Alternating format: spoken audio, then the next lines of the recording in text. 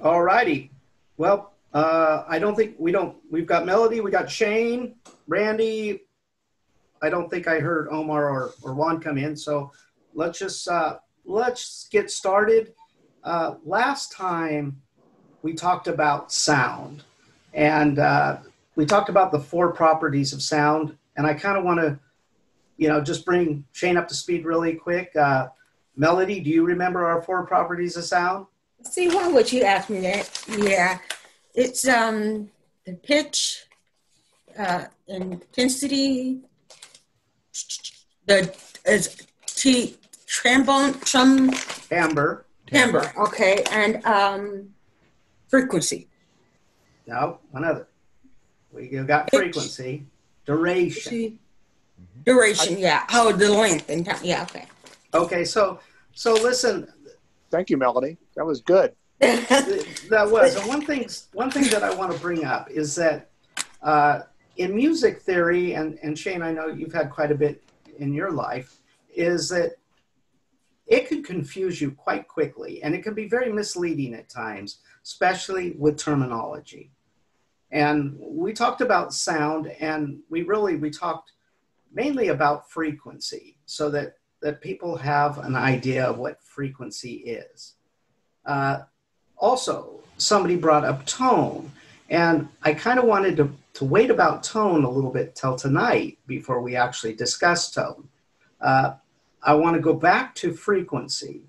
Last time I talked about uh, the frequency of a note. If you double the frequency, what happens, Melodi? What is that? It's an octave. It's a chord.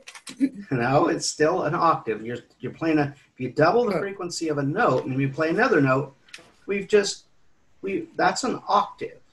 Oh, And Jim? remember?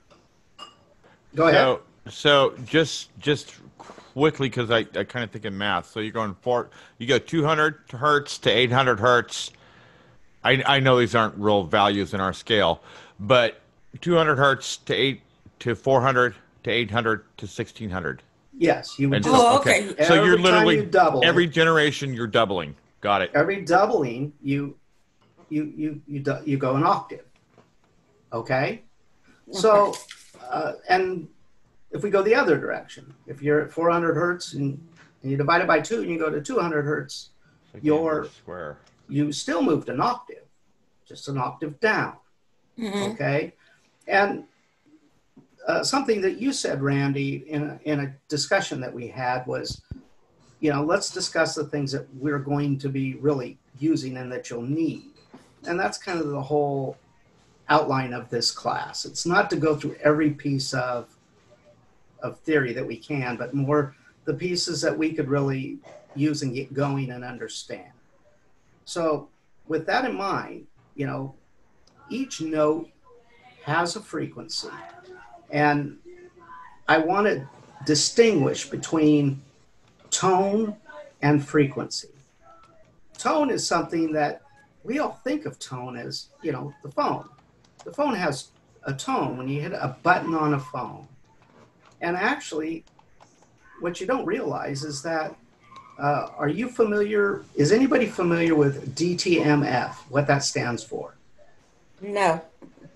It's something you used to write on phones. It stands for dual tone, meaning two tones. But when you hear the dual tones, multiple frequencies, but when you hear the tone on the phone, you hear one tone.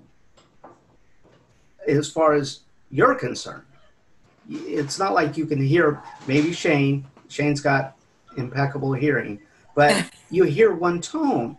And in when I first got into music theory, I thought tone referred to the sound we're talking about. Jim, just real quick, I seem to recall that you know when you say that and you use the telephone as an example. I remember the touchtone phones, and, Right. and it, it was either one, two, three, and it sounded like it was one note, or it was, it was either that or it was one, four, seven. And then when you went across, it sounded like it added other note. It, it, it almost like it was a chord.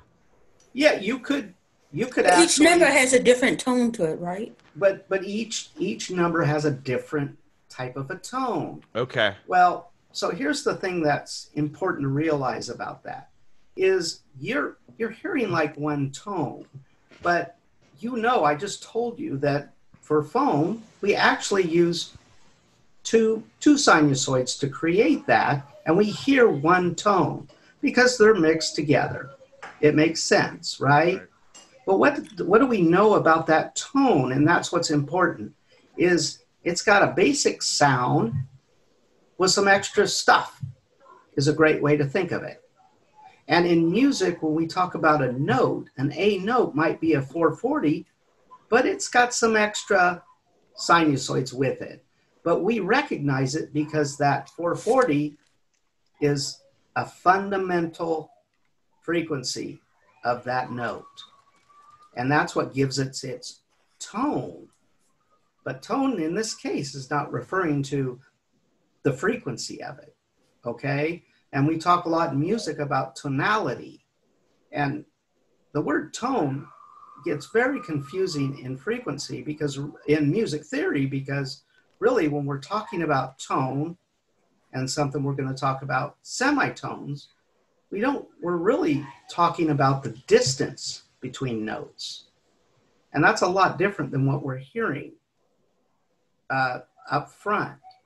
And that's why I said that uh, that this can be very misleading as far as musical theory is concerned, because in musical theory, it's very strict about tone being the diff the distance between two notes, and a semitone is really two semitones equal a tone, and that's still two distances added together will give you a tone.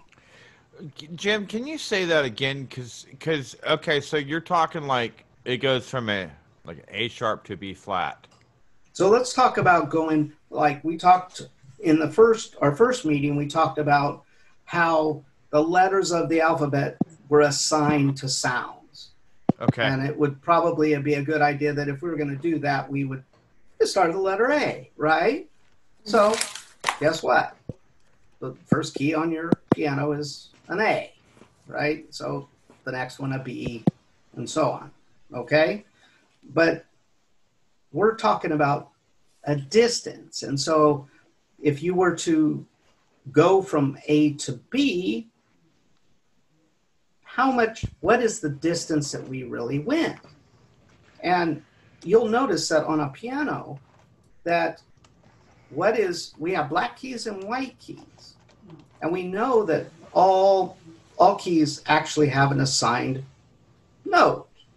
It's what we, what we, we talked about in our first session. And it's a labeling, and we know that they all sound different. You start from the bottom, you go all the way up to the top, you hear change in frequency. But what about going from A to B? There's actually a black key that's in between them, right?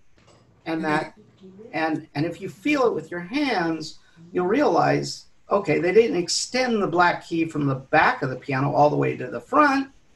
But if they did, you before you could get to that next white B key, you'd have this black key in between. Okay, so let's think about it in terms of distances. You know, if we're going from left to right and we we go that distance, well, we got to include that black key. So the distance from the white key to the black key is a semitone. And from the black key to that second white key is another semitone. But if I said, what is the distance from the white key to the white key, and you know that there's that black key in it, it's still a tone. Tone is in music theory used to to to talk about that distance.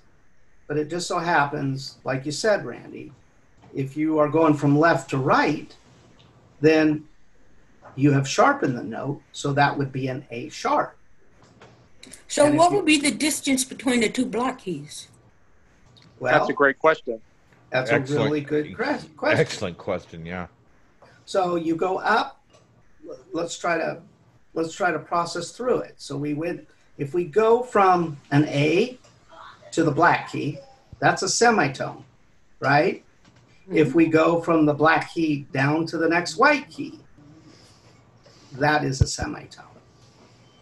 So if we go to the, the white key to the next black key, if it falls there, that's another semitone. That's actually a distance of a tone. Mm-hmm. And you'll notice that the only spots on the piano, and it is a case that we will discuss, is because there's not a black key between every white key on the keyboard. Jim, and if and if more will be revealed, I can hold the thought. But it sounds like you're describing steps and half steps. I am. That's exactly what I'm I'm I'm Okay. discussing. And the reason I brought up tones and semitones to begin with is that we're eventually going to talk about chords. And it's all going to be in terms of of whole steps and half steps. A tone is equivalent to a whole step. And a semitone is equivalent to a half step. But if you go and you look and you YouTube and you read about this stuff, you'll find that it's a it's a mismatch of a lot of people talking about either tones, semitones. I've I've heard semitones and whole steps. I've turned I've heard tones and half steps. And it's a very confusing point for a lot of people that are trying to understand it Absolutely. and that's why I, and that was one of the reasons I I pushed forward about talking about this stuff was to so to clarify you know what are we talking about when we're talking about tones semitones and honestly I would rather refer to all of them as whole steps and half steps but you know if if you go to to learn more about something and you hear those terms you are now familiar with what they're talking about. And when you get into certain types of uh, uh, certain scales and intervals and things like that, which we're going to talk to here about shortly, you'll find that that terminology will come up. And so uh, I wanted people to be aware of it tones and semitones. Jim, would it be fair to say that this discussion so far is really describing the relationship between you know Nope. what is a tone and then and then the relationship between uh, separate tones? Well, yeah, and you know, like I said, here's one of those perfect examples of we we talk about tones, and as we all know them, like I talked about the. Uh, I'm trying to adjust my speaker so I can hear you better. You there? Yes, Yeah. I'm here. No, we left already. No, I'm I'm here. I'm here. I Juan's here. He joined. Hi, Juan. I got a headphone that's being kind of funny. So when we, tones, to most people, mean sound, and in this instance of tones and semitones, where we talk about, you know, i as far as music nomenclature, is referring to distance, and you know, I, I wanted to make sure that people don't get confused of of that very thing. It's easy it's easy to do. So, Jim, Go uh, ahead. back to Melodi's question about the distance between the two black keys. It's a semitone, right? Yeah, it's if you go from well, you know, uh, you probably know Shane that that going from A to B wasn't the greatest example because you're going to hit where there is a half step. But black keys are either going to be uh, well, what if you got to be? a, a sem a, a tone or more apart, right? Uh, as far as where they they fall on the keyboard.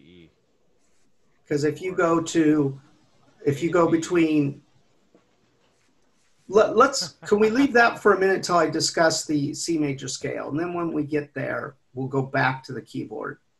Sounds Yeah. good. A mm-hmm. Th- Does that work for everybody? That works.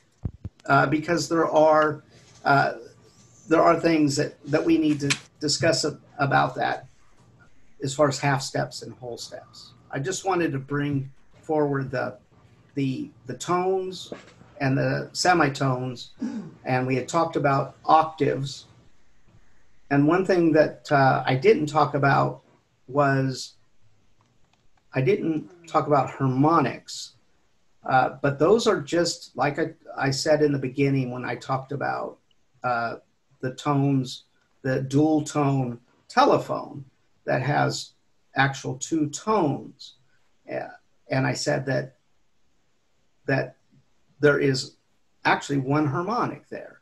And harmonics are those extra little components all put together with the, that fundamental frequency make up the note. And what I want people to remember is that every note that you hear on your instrument has one frequency that is pretty obvious to our ear, but those other harmonics, those other little components that come along with it, change depending on the instrument, change depending on who's singing it, because those harmonics are what give it that extra extra color we say or texture. Uh, we we know that an A note is 440 hertz. That's the frequency of an A note. It doesn't mean we can't play it an octave down or an octave up. It's you know we can. We can go to 220 we can go to 110 like on a guitar. That's an open a string. But it's the fundamental frequency is what we mainly remember uh, if we even remember what the frequency is at all. But if they all are 440 hertz if i play an a on a piano at 440 hertz and i play one on a guitar we know that they sound different not in the basic frequency of it, but in its color uh, or just the way it sounds if you play it on a flute, right? So you get all these different A's. So what makes them different in the way we hear them, even though they all have that really meaty part that we say is its fundamental frequency, and that is because of what some people will call harmonics. And those are all the little extra pieces that come along with when you pluck that A, you pluck that A, or you hit that A on the piano. So Jim, Yeah. go ahead. hey, I've I've heard the word tonality. Is is that what you're describing? Is that another word for this? That that is another word for this. Okay, thank you. you know and and a lot of times we talk about tonality when we get to more than one note but this is a perfect example of what you know really tonality is based on is that that extra you know we call this timbre how the flavor of a yeah. of a note but and the color but temperature. the temperature. We, we have all kinds of, of ways of thinking about it. And, and that's where I think we can get, we can get lost in, in our understanding of it. And so for the purpose of this discussion, those extra components that, that come along with the, base frequency of any note, which is what we call the fundamental frequency is harmonics. Those are all the extra components. And where we stand right here, are we are we together on that? Is there any how we doing, Melodi? I'm getting it. Yeah. You getting it? So Yeah. because eventually we're going to talk primarily about notes, notes and distances, right? And mm-hmm. the, the stuff that we're kind of going over is kind of gets lost, but there are times that those words will come back up, like in the case of harmonic minor and things like that. You're going to see these words appear again as we go further. And I want to be able to draw back on what I told you in the beginning of really what it was. Yeah. Okay. Okay. Uh, and and like as far as tones and semitones. Uh, so with that, let me see. Let me look at my note here. I think our next spot is to to to talk about. I want to introduce introduce the the first scale, which is going to be the C major scale.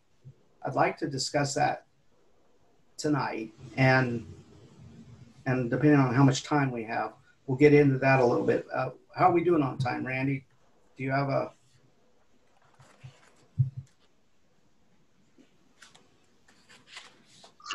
The time is 6:25 p.m. Which is at six forty-five? It's 625. Oh, okay, good. Yeah, Randy left. Okay, so so we we still have we still have some good time. I'm So- still here. Sorry. Okay, so last discussion, I talked about this this labeling of keys, and we started at A, and really, uh, there's we're going to start with the C major scale because there's something unique about it. Uh, number one, uh, C is the middle key in a keyboard. If we split the the uh, the piano in half, that middle key would be the C, and they call that uh, middle C. I kind of think of it as home row, but I'm a computer user, so uh, that would be the, the home row. but it, Mhm. it's called middle C, and uh, if you, you know, remember I, I said in the our very first first meeting that there are seven notes in any major scale. Okay? And after the seventh note, we hit the eighth note. Well, what's unique about eight? Octa, right? It's an octave, the eighth note. So if we counted through the notes starting on C, we'd go C, D, E, F, G, A, B, C. It just repeats.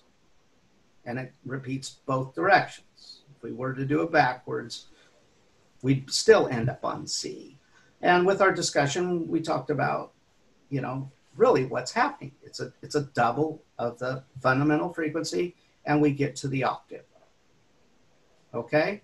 So here's the here's the reason that we start with the C major scale is it's all on the white keys of the keyboard because we know there's some unique characteristics of the C major scale. It has no sharps and no flats. And in our in when I introduced the black key on the keyboard, and I said if you go, you know, between that A and the B, I said there's that black key. Okay? And if I did that, the same thing as if I did it at the starting on C in the middle of the keyboard, the next key, the white key is going to be a D. Well, there's a black key in between it.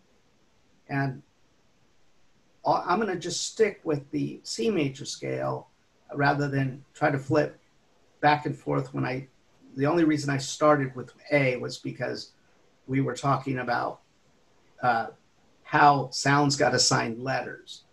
But I'm going to just leave that as is. And we're going to talk about the home row, middle C, and that's where we're going to take it off from now on. And, and we're going to talk a lot about this C major scale because that's going to be the basis of most of what I teach in, in this, this class because I have found a way to transpose that C major scale through all the keys. Jim, a question. Yeah. So you keep referring to it as middle C. What does that mean? Does that have anything to do with octaves? No, it has everything to do with the, the, the that key. The distance of that key is right in the middle. Of the keyboard. Of, Of the the actual keyboard. physical. Okay. The actual physical spot is where, and Gotcha. of course, there's, you know, there's other characteristics that, other reasoning that goes behind it. And one of the things that you had brought to my attention was do we really need to know why they chose middle C? There, there's reasons behind that, but I don't want to get into that. I want to get, get going with the notes When you say middle C, though, you're talking about the C on the keyboard. in the middle. Yes. Gotcha. And so if we start at C and we go, whenever I say go, I'm, I'm, I'm talking about from left to right.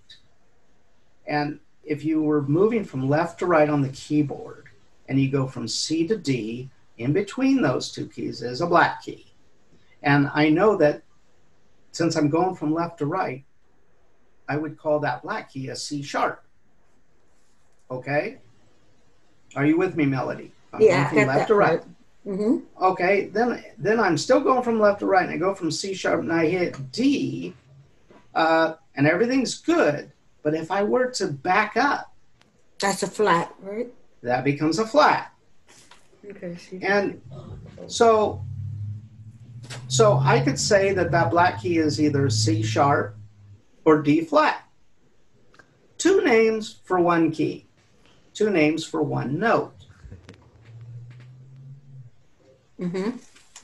You with us, Randy?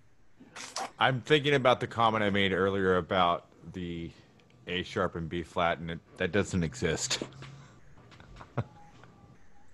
Okay. Yeah. Yes, it does. It does. Does it? Think about it. Go A to A, A, A to black key, and then that next key that you're going to hit is going to be a B, right? And then when you go If backwards, you go backwards, it'd be a So B there's- flat. There's no B. to A. There's no B sharp and no C flat. Right. Okay. Okay. Okay. I, Right, I was off. Yeah. And and and that's kind of the that's where we're going. And so we're marching from left to right, and we start, but we recognize that that uh, a black key can either be called a sharp or a flat, and it has everything to do with which direction you're going. If you're if you're going from right to left, the black keys are always called flat. If you're going from left to right, it's always called sharp. It has to do with which way you're traveling. Make sense? hmm So, so as we go, we're, we're going to continue this discussion from left to right. So we Okay. go. well, So there would be no E sharp then, right? No, there isn't, and those are there's. You'll notice that as we go through this scale, I said something very unique about the uh, C major scale is that it has no sharps and no flats. But we know that key exists. The black key exists between them. But the C major scale is played all on the white keys but there's some there's some unique properties about it because you're going to find an area as you go along the keyboard that there's two white keys and no black key in between them. So even if you wanted to play a black key you couldn't. And that's unique to the c major Hey, scale.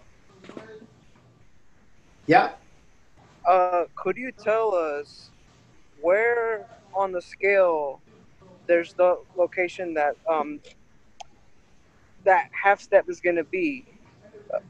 Um, because it's in a certain spot, right? Third and fourth and seventh and eighth, right? it's Of the- between of the. That there's Right. not gonna be a black key. there's not going to be a black key. And, and yes, that's a very good point. Uh, is that in the C major scale, uh, there's two spots that you're not going to have a black key. And that's going to be between B and C and E and F. And remember, we started C, D, E, F, G, A, B, C is the octave. So there is no black key between B and C and E and F. You understand that, Melodi? Yeah, I got that. yeah. Okay. So let's do something right now. Let's just label for, because this is an important part, we're going to label it from 1 to 7. C, D, E, F, G, A, B. That's it. Uh, C is 1. You know, D is 2. E is three, and so on. Mhm. And that might be something that, that you want to write down. Some people just remember it.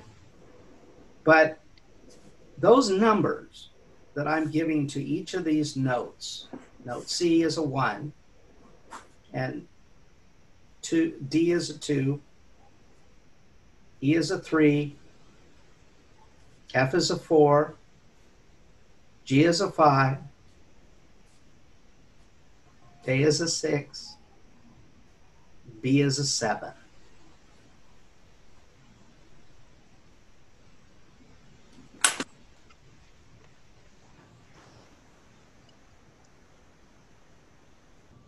The Did everybody get that? the, ob- the obvious question is, what are the black keys? How do you describe those? You're on the C scale. There are no black keys, right? There are no There black are keys. no black Okay. keys. We'll Okay. get I, to I, that. I'm jumping ahead. Okay. You're jumping ahead. We'll get to the black keys. Sorry. Good catch, Melodi. Thank you. You know, but You're trying to confuse me. Hey, Randy. and me. No, you're, you're no, good. I'm I'm getting overexcited. Sorry, I just need to filter. Sorry. Will this Zoom call be um, recorded for later playback? It is, and it will be uh, uploaded to YouTube within the week. Ooh. Because I want to show some people, like Angel and some other people. Cool. So we started, we, we put down this number system. Is everybody with me? Yes. And uh, those numbers are important because we're going to use those numbers throughout all our discussions.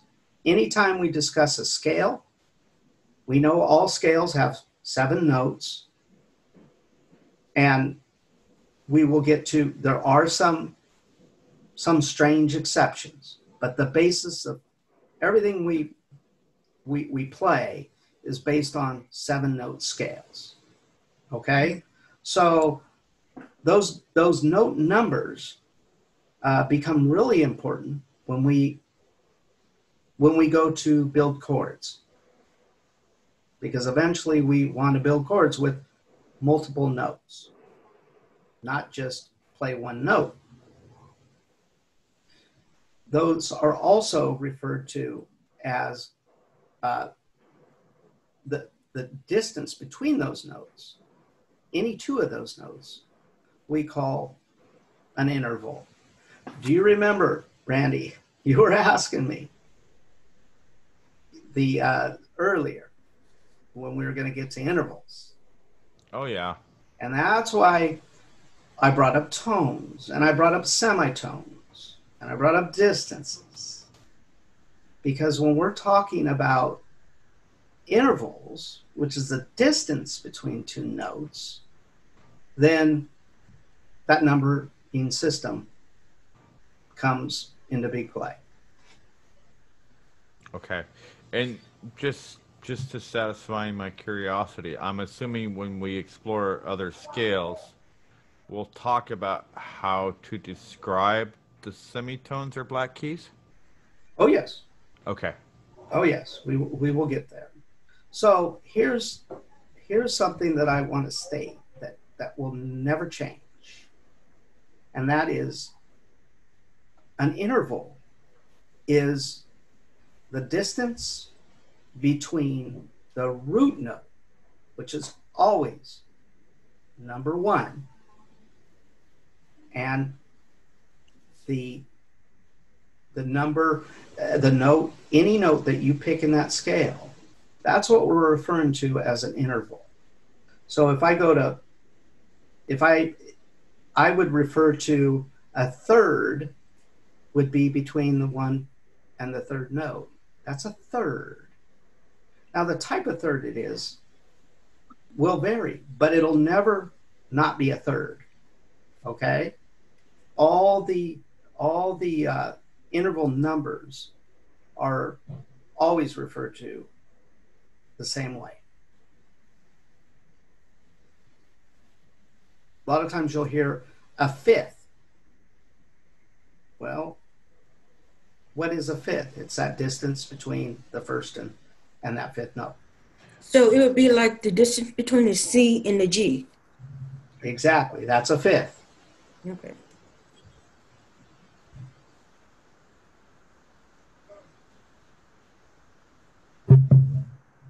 Great example, Melodi. Thank you. The distance between the first and the third, that's the third. And you know, that will you'll you'll get you'll get stronger at how to think about it because you know right now we're dealing with a scale that has no sharps and no flats, no black keys. But if there were a scale that had black keys in it, then we'd also know that that note that falls on that third note in that scale, we will still call a third. And that fifth note in that scale, we will still call a fifth. Okay? It will never change. So that's why we numbered them. So what did change? What changed if if I were to change the scale and I had I know it's a major it's a either any kind of scale, we're gonna have seven notes for mm-hmm. practical purposes. So if I change something, I can't change the number. I can never change the number. So what could change? Well, what would have to change to add the black key? The note, right? It's flat or it's sharp. I, I, I don't know. The number of semitones or tones. That's why I brought up distance because the distance, the, So- the number of semitones would change because you you had to remember you had to step up going left to right you had to step up to that black key and then back down So from C to C sharp is a half step.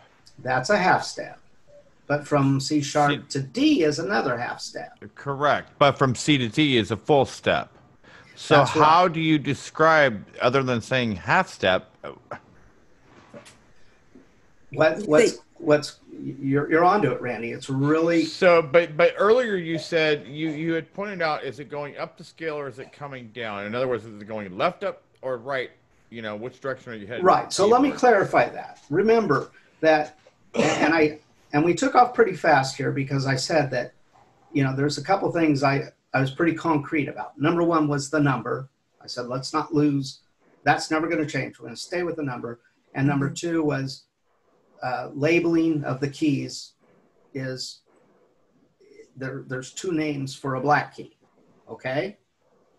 So those things you know will never change.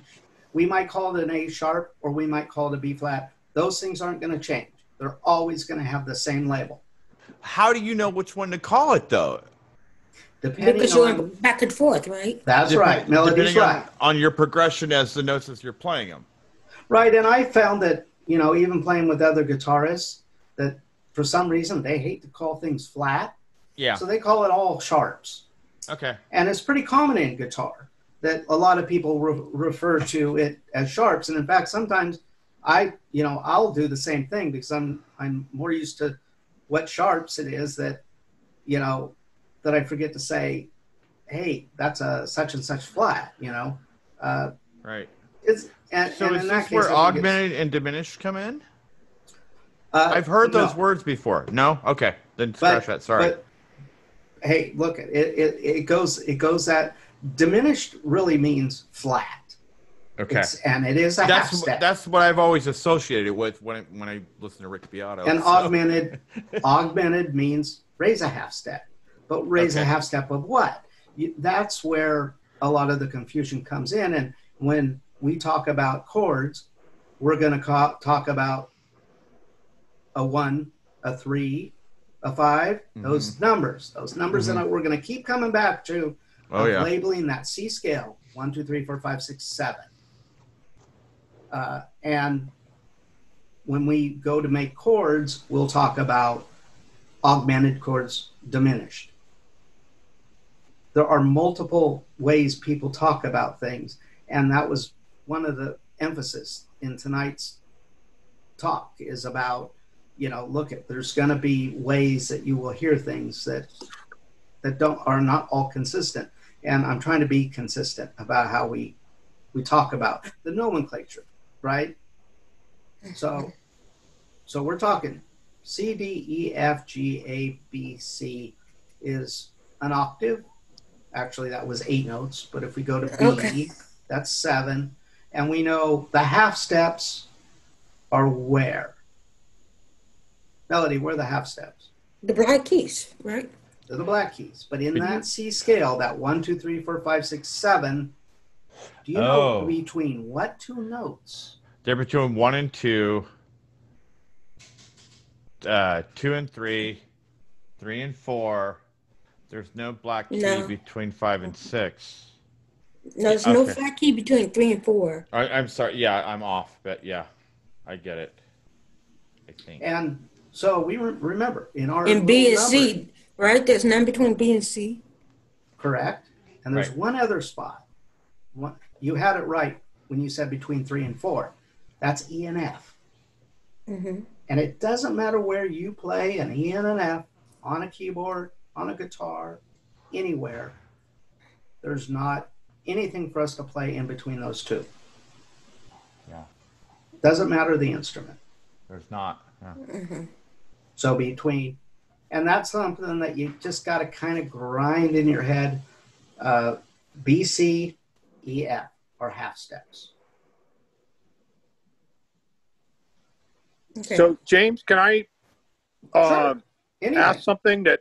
Um, so, when we're talking, going back to the, um, you talked about distance, right? right.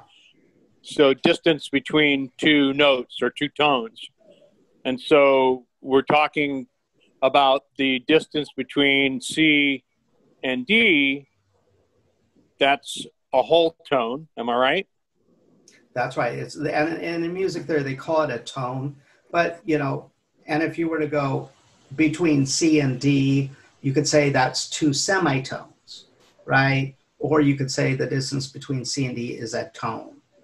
Uh, or you could say the distance between C and D is a whole step, like you just said, or the distance between C and D is two half steps.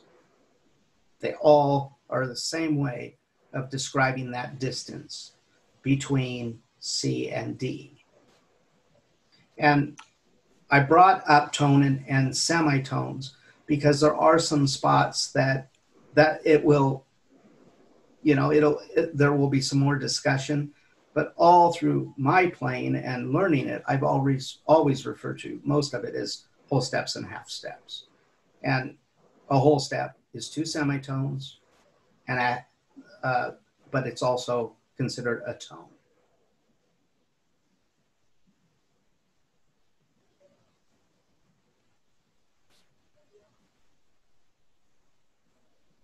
How we doing, Melodi? You got that? Yeah, it's almost like um, quarters and dollars. Yes. Yeah. Okay. Yeah, good Okay. good analogy. But here's the thing that's that's kind of great about remembering the C major scale is number one, it doesn't have the scale itself doesn't have any sharps and flats. hmm And you know, when we talk about those distances, we can figure out pretty quick that even though there is a black key between C and D, which we would be C sharp or D flat, what's unique about the C major scale is that we don't hit any of those keys. We just go on the white keys. But that is the C major scale. But there's something that we can learn from it. And I'll show you that any scale that you want to construct, any scale, will have actually, as far as major scales, will all have the same distances as the C major scale.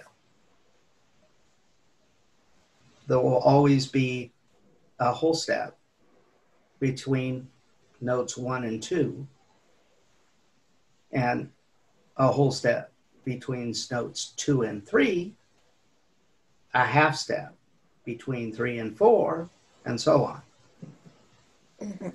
And if you use that, once you figure that's the one you got to remember. If you just, if you're going to do any memorization, you got to remember where the half steps are in that C major scale and where the whole steps are.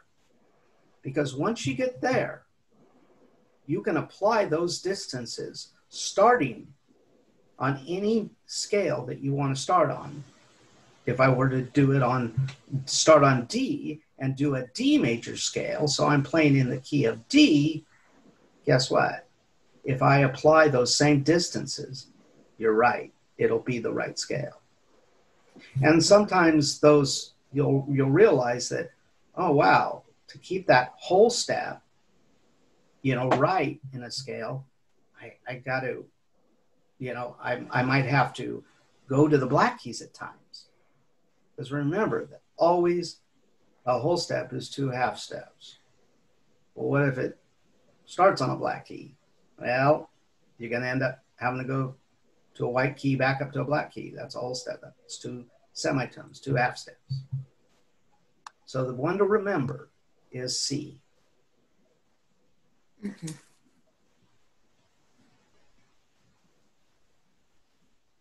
Did I did I lose anybody? No, I got it. Randman? He's asleep. No, I, no, no, no, no, no, no, no. He's eating no. again, aren't you? No, I'm here. I'm I'm I'm um I'm having a lot of questions that pop up and I'm really really trying not to ask to jump ahead and cause confusion. So um Well, right now, I hear a lot of this verbiage, Jim, and so that's how I come up with some of it. And so I just really appreciate the the uh, chance to clarify. okay, well, we're all we're at 650, and I don't want to. The last thing I want to do is convolute all of this, right? So, I got to the C major scale, and it's something I'm going to refer to from here probably to the end because there's so much to learn from that scale as far as how how to come up with all your other scales without mm-hmm. having to to go look them up and that's May how I- i've done it May I ask one question because this is going to drive me nuts for the next week? oh any any question Why is it called major? Why is it not called minor or let's just stick with that. Why what distinguishes what cuz you said earlier you said it's a C major scale and there's it's basically there's no Well, sharps and no flats. So I'm gonna answer why is it major? well here's something that you know that I don't know you- that I know. I, I yeah, I don't want to make assumptions. just minor scales sound darker okay major scales sound brighter they all have to do with with uh, distances Okay. and i'm gonna and, and we're gonna really get into that and and or or the actual note they start on. So the minor scale i'm not going to go into the minor scale especially tonight but just know that it has to do with distances and that's why i had to get us to this point of talking about uh, those interval numbers and those distances well, we're going to spend a lot of time at looking at those distances and what happens if we decide to change them a little bit. That's where you're going to see minor. Okay? But for right now, let's stick with C. Uh, C is, I mean, yes, you could have a C minor, but this is C major. It's Okay. no sharps, no flats. Okay. Anytime you go to minor, guess what? You're going to get sharps and flats. There's sharps and flats, I'm assuming. Yeah. So the C major scale is all, there are no sharps and no flats. And we, we kind of know, we already know that what a minor key presumably sounds like because if you hit a black key, you'll know that there's something that sounds a little darker about it, right? Yeah. There's, you know, so so you're familiar with the sound already, and we're going to really dive into, you know, all of that. But our home row is going to be this C major scale that sounds pretty pretty bright, and uh, we're going to tweak it, and and that's what I'm going to show you is how to tweak it and what you get when you do.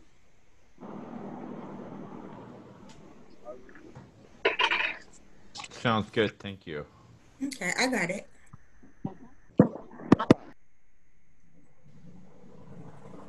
You still, you still together, Shane? Absolutely. Any any comments you would like to make? No, uh, no. Uh, I, I, I think uh, uh, if, if Randy, if, if you want to talk uh, major minor scales afterward uh, offline, so you can sleep well tonight, uh, you know we can do that. it is bothering me. Well, we I think it's some kind of pattern because you kept referring to. You said one, three, five earlier, and it's like, why is he not saying one, two, three, four, five? So, I, Right. you know, I, I, I take this as a language to describe what you're playing, so we can work together. So, yeah, it's it is it does intrigue me. Okay. So when you say one, two, three, four, five, that's a C major, uh, C minor, right? Well, just uh, just remember that the basic building blocks of of chords are really three notes, and that that what you refer to as minor is really. Uh, I didn't want I didn't want to, to go into there's so many pieces of it. And the basics that I wanted you to remember was the numbers I just assigned to the to the notes that we have.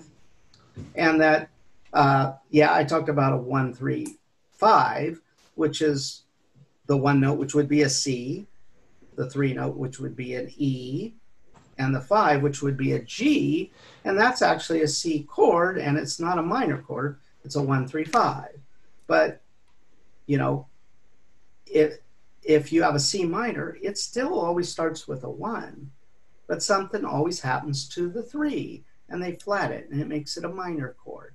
It's those kind of manipulations that we're going to do and we're going to learn that that how to make minor chords and it's not just a simple it's not a simple explanation without bringing more into it. Uh, although Shane, you might have a- a, better way of describing it. I know you're familiar with minor minor uh, keys too. So I was trying to stay with the C major scale to get through discussing intervals because really what makes you know any chord uh, uh, is is intervals and we got to get to that and then we can talk about relationships in scales so Yep. Well, uh, it's it sounds to me like it makes sense to stick with the uh, Absolutely. curriculum and Yeah. and uh, r- unveil it uh, as you wish, piece by piece, right?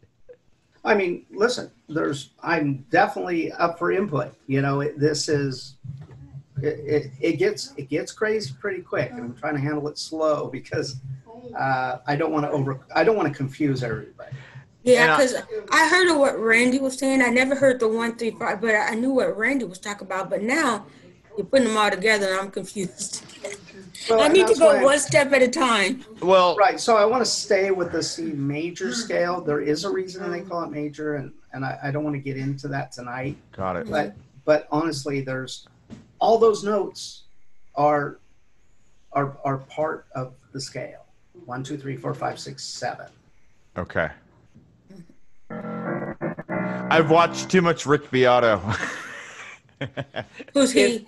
Oh, that. Oh, yeah, I heard him. yeah, and it's you That- hear a lot of these, you know, like one three five. The phrase, you know, you hear that. Well, that's that's standard in pop music, and it's like, well, what does that mean? So, um, more will be revealed, and I apologize if I'm um, causing too much interruption. No, not at all. But No. just for now, let's just stay with the major. we're going to make it minor, uh, and we're you know, and and you see is when you're in keys, when you're we talk about keys, and it all comes down to to that that the timbre of the sound, the tona- tonality, you know, the the feel of of a key. Because when it's out of key, it just doesn't sound right. Right. And if you were to be playing in the key of C, and you decided that you were going to play a C minor, which is a key, but is also a chord. That's not in the key of C. That just changed the whole mood, though. That's right. I mean, and seriously, that just changed the whole emotion of what you were conveying.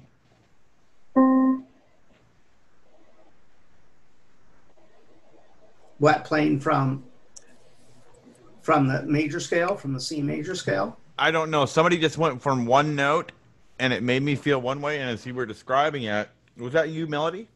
No, it must be What- Shane. That must be Shane. Okay. Well, Oh, whoever- I'm sorry. I, I thought I was keeping the, uh, No, that's the fine. phone be- far away enough. but that's but but sh- thanks, Shane, because it just because I tie I tie what sh- what Jim is describing. I tie I tie music into emotion. How does it make me feel? And when you just play it and hit as he was talking, when you hit the second note, I just my whole emotion in in color or whatever j- just completely changed. Right, and he did not he did not play a note in in the uh, in the C major scale. That, Yeah, I wouldn't say that didn't okay. sound like a C though, was it? So, so would it be fair to say that if you're playing in key or you're playing in the same scale, it tends to keep the same vibe or the same emotion Mood? or Yes. or mood? Yeah, I think mood's actually a better word. Okay, Yes, and then and- and, and- then so those changes happen when you change the key. And certain okay. notes. There's Okay. you know, I, I gave you seven notes. Right. C D E F G A B C. But you Sure. didn't throw no flats or sharps in there either. Yeah, I okay. didn't throw Uh, any yeah. flats or sharps. Yeah, yeah. But okay.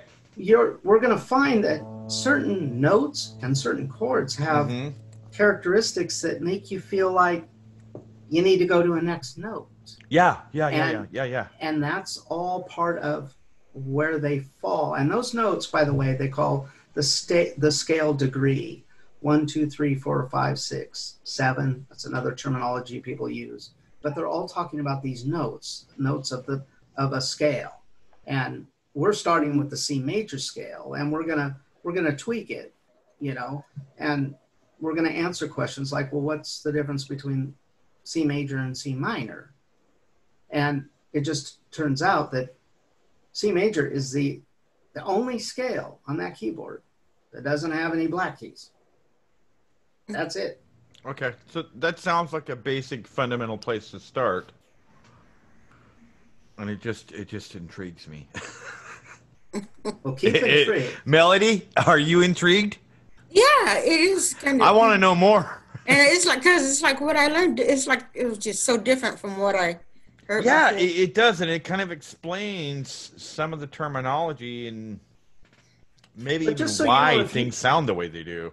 Mm-hmm. If you play that C major scale, remember it, it's all the same no matter what what octave you're playing. If you started Right. at 440, Yep. well, C is not 440, but let's say that you were down at the left side of the keyboard and you started on C and you're playing notes between those seven notes we just taught. Right. And then you decided to jump up to, you know, much higher on the keyboard. That's all good. It all yeah, fits. yeah. If it's in key, that that that, that In does key. work. But there's times when you hit the wrong key and it's horrible. right. And Yeah, and that yeah. that's going to be a great. It's You know. dissonance.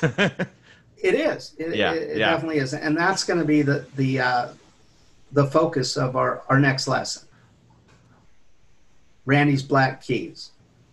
I just, dude, it, it's a trip when you play like the keyboard, and, and I don't have any formal training, but you can go up one, two, you know, up the bl up the white keys, and that's fine. But when you start to incorporate the black keys, you notice that certain combinations work and certain combinations don't, and they'll make you feel, I at least me, almost temp, almost temperature and mood, depending on how you ways of how you describing. Yeah. They're all great ways of describing uh, what you can do with with the musical language. It's and there's reasons that you you you want to go to like a fifth because it's going to make people want to go back to a one. Those are all those predictions I told you that that you see in music all the time. And And- there's going to be a time that you you want that's- you want to go dark, you want to go black keys.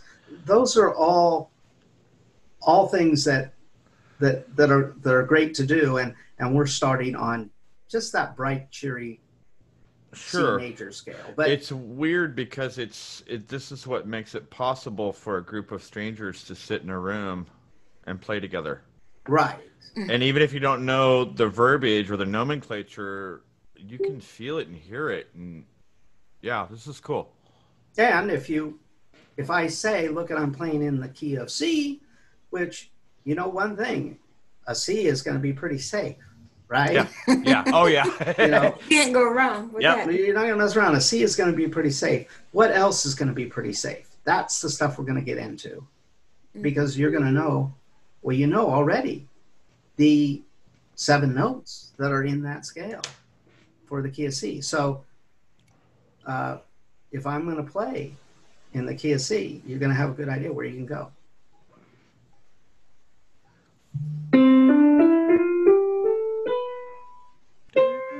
Perfect. Yeah, that's good. So, what instruments do you play, Shane? Uh, nothing really well. Uh, I have a, I have a keyboard here that's identical to the one that we have in the music room at the agency. hmm Uh, I've only had it home here for a month, and I ha- I'm having a lot of fun with it. Uh, I I play They a are little bit, fun, of, gu- little little bit of guitar, but uh, I'm very rusty. I'm but hoping that I'll uh, get better uh, with some practice. what about the quartet and the and uh, yeah? Come on, Shane. Don't be so modest. Don't you sing in barbershop? Oh, Oh, really? well, Mel, Mel, yeah, Melodi, he's right. I, I my Don't be modest. most Come on. most most of my uh, music uh, background is in singing. So when I was in when I was in I high bet you're a tenor, aren't you? uh, I, I s- yeah I, I sang tenor and baritone. Uh, Mhm. I, I sang all the parts at one time or another. But um, but yeah, I did a lot of choral singing in high school and college, and then I did some musical theater and opera in college. And then when I graduated from college, some guys for a while I majored in music at UC Davis, and uh, some of the guys that uh, the other music majors started a jazz quartet and uh, piano, bass, drums, and alto sax. And at one point, I uh, got together and, sang with them. So we, we gigged a little bit in the Bay Area doing jazz. You know, this is back in Oh, the 90s. cool. Yeah, it was fun. But I haven't done any kind of music with any kind of consistency for many, many, many years. So I'm hoping to get back into it. Mhm. Guys, if it's okay, and Shane, I don't mean to put the spotlight on you or embarrass you in any way. Um, Yeah, you do. I no, no, I don't, and I mean this with with with utmost sincerity. A, a few years ago, you know, Shane's my boss. Um, but a few years ago, we, we were at a holiday um, party for the company for the agency, and Shane and Liz Campos performed. And you know i always see shane as, as this formal you know he's my supervisor and and, and Not a fun person. but he became a performer. It was amazing. It was incredible that transition shane and, and i've never had a chance to tell you this but i was really that's always stuck out with me you became this other stage presence and just was a professional performer and and, and um i took a lot of cues from what you did that night um thank you Oh well, that was a lot of fun. And what was fun about that night too was that we had a technical glitch, right? And, And- and, and your your mastery of the recovery of that was just oh my god that's that's a lesson you could teach Okay, so now person. you have to sing for me, Shane. Oh, right this second. Oh, I don't know about that. Maybe next time. can, can Okay, you I'm tell over to do it. can you tell about the technically basically melody i paused the music right in the middle of the song and just crashed the whole party and shane's ability to recover that was just oh my god it was incredible it was a it was professional somebody you would see on nbc or it it was yeah thank you shane because you saved my ass that night Well, you know, it's moments like that that uh, that people remember and enjoy the most. Uh, I uh, I've had so many mishaps over the years in performances, and uh, You just keep going. Yeah, you keep going and and you you uh, you make it part of the act. Yeah. Right? Yeah. You because people love it when you screw up, and if you if you have fun with it, they will too.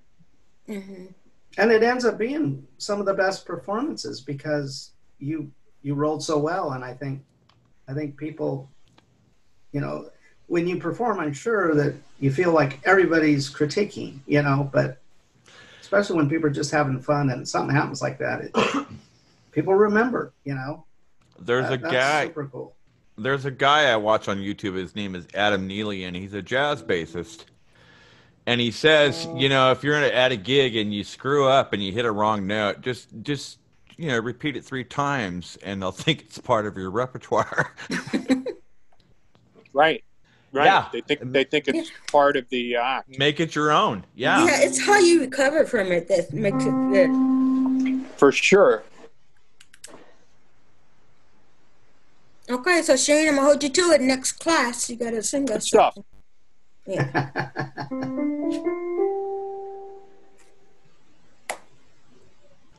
So, Jimmy, you want to set the agenda for next week? Uh, yeah, I think we'll. I think a good thing to discuss for next week. We will. We will discuss uh, some of the minor stuff a little bit, some of the questions that you had, and I'll put together uh, and email you the next kind of topics that we'll just we'll we'll cover. Okay. So it's gonna be we next through this- Tuesday. Yeah, it'll be. Well, I've been doing them every two weeks because uh, Yeah, but Well, he said gonna- next week. So, oh yeah, in two so weeks. Next, Jim, next we're going to do this in two weeks, correct? Yeah. Correct. Okay, gotcha. Juan, are you still here? I heard him exit. I heard Okay. him exit. He came Got it. back in He and comes out. and goes. Yeah. Got it. Got it. Um, so in two weeks we'll be on. Uh, folks, I'll have this uploaded to YouTube and a link out. The the first uh, lesson is up.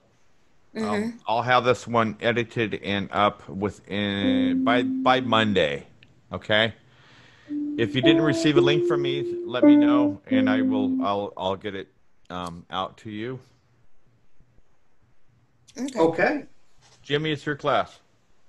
And I will. Uh, I did. I sent that. That uh, I did it on guitar, of course. Uh, but maybe I can uh, get maybe Juan to echo what I did on piano, uh, or I, that that scale uh, melody was the C major scale that I played. You know, but That you listen. Oh, that you sent me on the that I sent you. Just I just want you to match notes. You know, get comfortable with mm-hmm. matching those notes. But you did it on the guitar though. I did it on the guitar, but that's it's good to hear. The magic is when you can repeat that on a different instrument. Right, and and that was kind of our part of our discussion tonight about it. It's still a C note, and mm-hmm. you're hearing that that bass fundamental frequency of it. Yeah, But there are all the other stuff. all the other stuff that come with Yep. it and you know that's something that like i said we'll we'll talk more about but but it's still a c note and uh, they sound different on but they're still close you know they sound different on different instruments Can I'll Shane? go over it. I'll start making sure I don't. I'll check my junk mail from now on.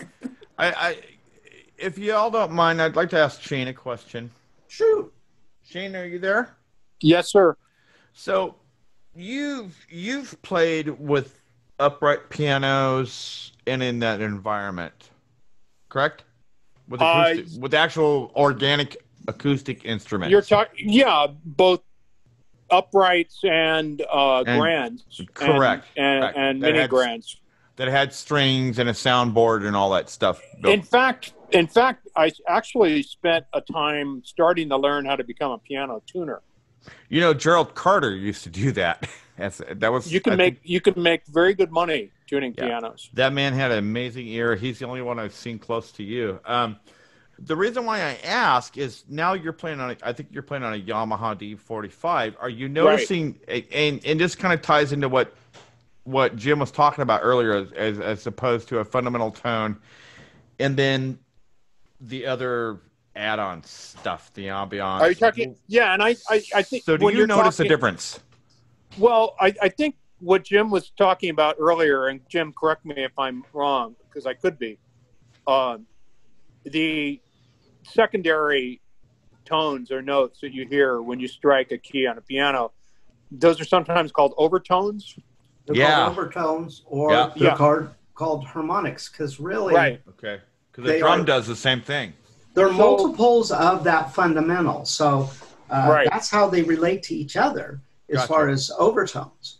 But what do you hear and what, you know? Yeah. Well, here's the thing. I, I, my hearing is really strange because I got two things going on. One, I have perfect pitch, which is actually in the brain, not the ear. It's it's it's the way the brain identifies the frequency of a note, basically, right? Right. The pitch. Okay. Um, I, I'm I'm able to remember the exact pitch that I hear something played, right? Without having to hear a reference tone. right. Yeah, he doesn't have Right. relative. He Just can just hear- cold just from the cold, he can say yeah, yeah. "Hey, So key." if I if What's I strike Shane? if I strike a key randomly, Yeah. you know, that's uh, if I strike a key randomly, like I just just did, that's a B flat or an A sharp, depending on your point of view, right? Right. So, um, yeah, I, I can identify what I hear, and that that's that's genetic and it's fairly rare, you know. It's, um, re- it's very rare. But the funny thing is, I also have moderate hearing loss. I always have. You know, I wear hearing aids. it's So- he's got an That's app in his hearing aids that, that tell- Sorry, Shane. Yes. So the prob, yeah. So the Yeah, issue is, yeah, it's strange. Okay. I want yeah. those So hearing the, aids. so the, so while I can I can hear the tone, I can hear it and I process it. You know, if it's loud enough.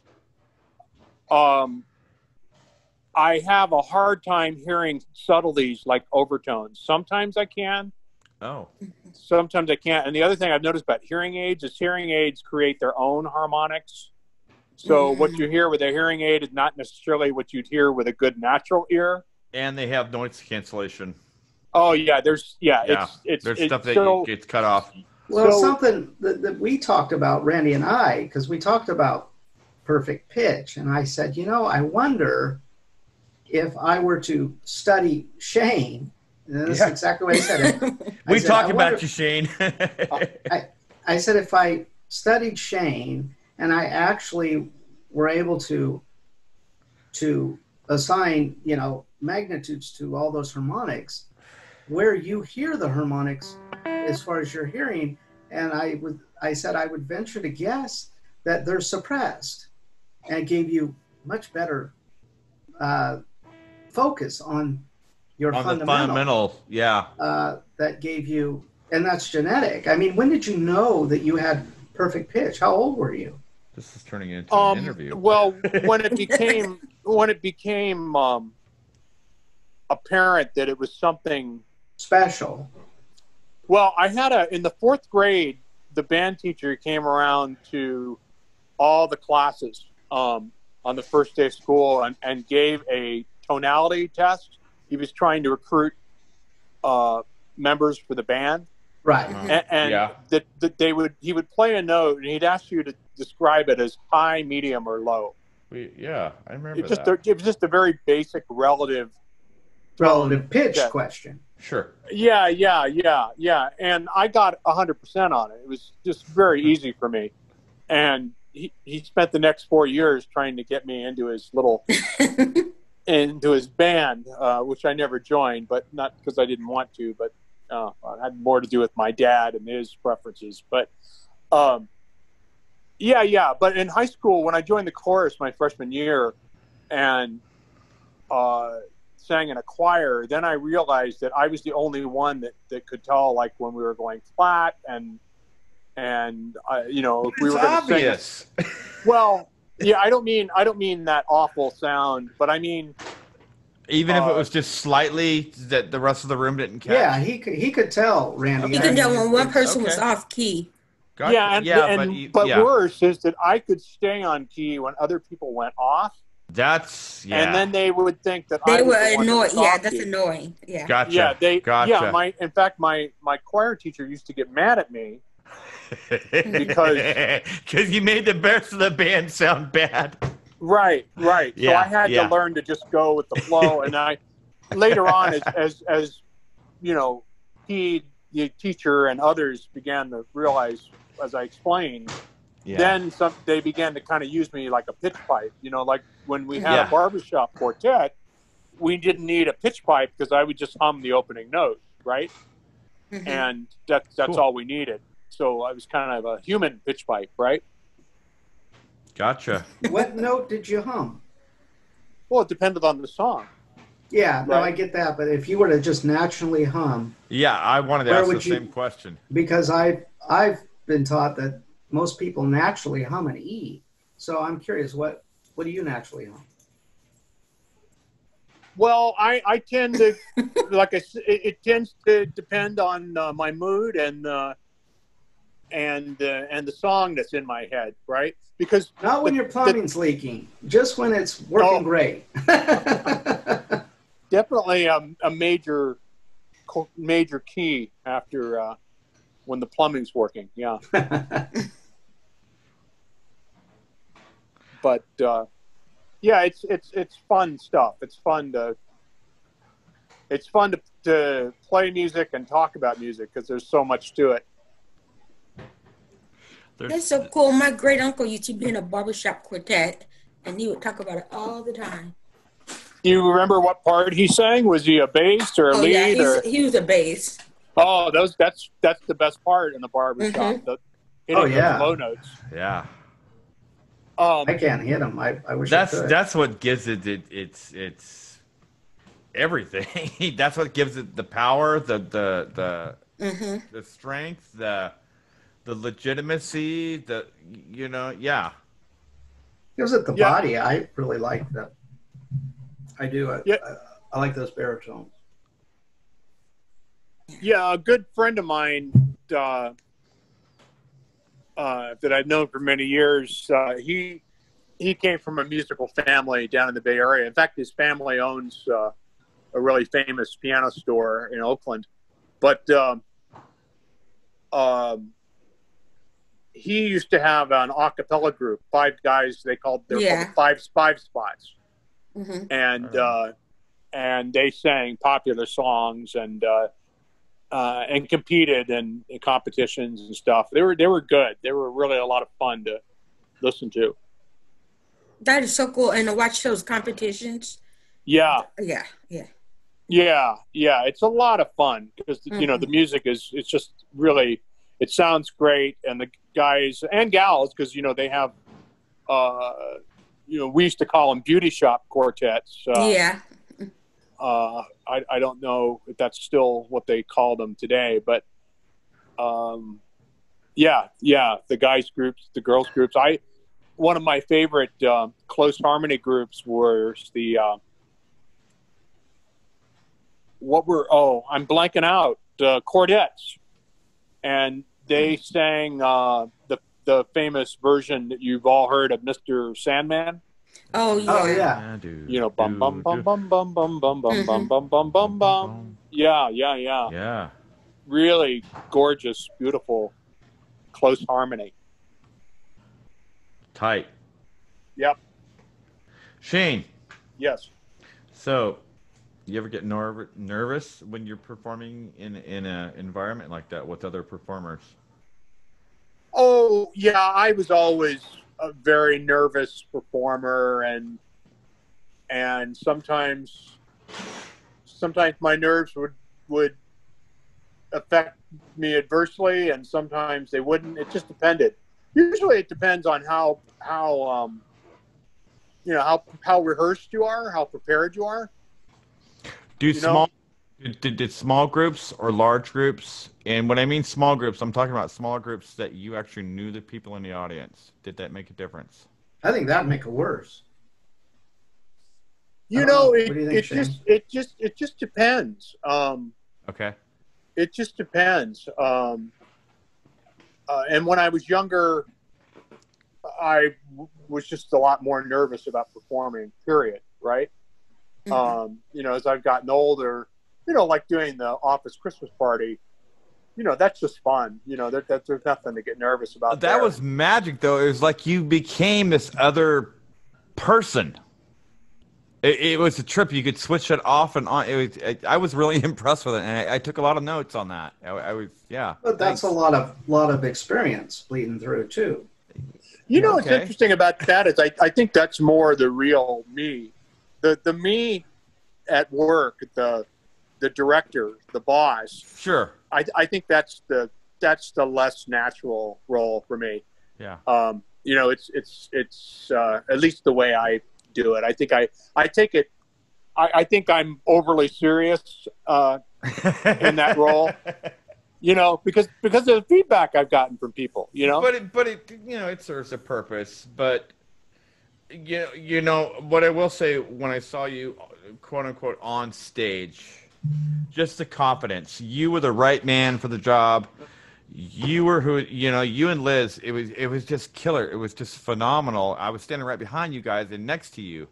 I could smell you. I could hear you. I, I, and, and it was just like it was the ultimate in, in a learning experience. It really was. It's it's a great well, side. I every- and and we were having so much fun. You know, and that's the thing. That's And the you key know, is, Shane? is the fun part of it. Yeah, Melodi. I make fun of Paul all the time because I tell him he's going to become that boring, too serious person. Now he got that job. Yeah. Well, I Paul know, is said- Paul is Paul is one of the most naturally loose people I know. I know so- because when he was my teacher, I would, we would joke and I would send him email. He would make me do homework and I would send him jokes. And I said, "Well, I guess I can't send you jokes now because you're going to be all that boring person now." so I call him Mr. Gray sometimes. Yeah, that's funny. Yeah, I I, I uh, um, yeah, I, I think Paul would do a better job of of uh, keeping his uh, his lightness uh, around that position. It's very Yeah. inviting. yeah, we'll have to get him into the music group. We'll loosen him up a little bit.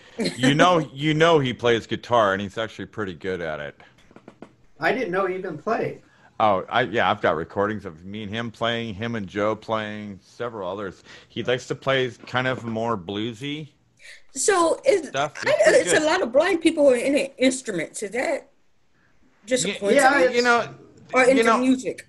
I, I, I, I kind of, and maybe I'm wrong, but one of the things I've noticed is blindness doesn't discriminate. It doesn't really care about all the differences. And Mm-hmm. when music, when you, when it really comes down to it, and you put a bunch of us together, none of that, none of those differences matter. We, we come together.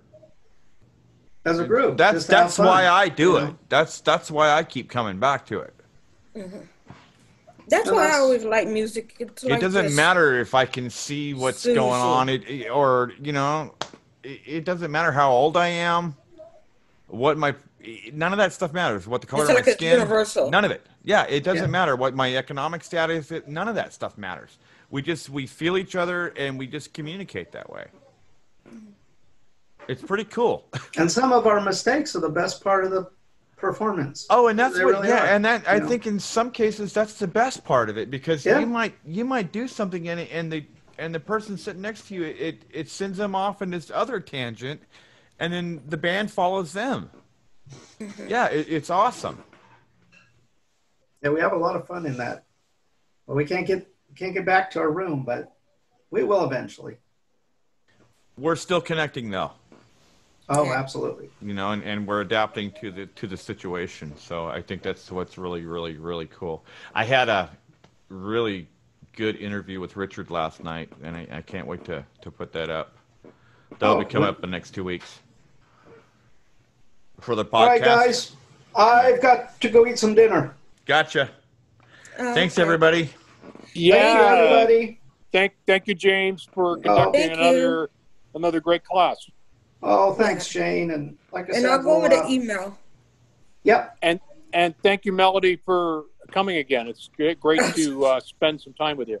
Yeah, I like coming. It's good with the music. I yeah. Yeah, we'll keep it going. The going. music always keeps me lifted, and it's like yeah. Exactly. You, your questions help me too, Melodi. They they really they really do. Thank you. Yeah. All right, guys. Thanks for everything, and I'll be in touch. All Good right. night, folks. Good night. Good night.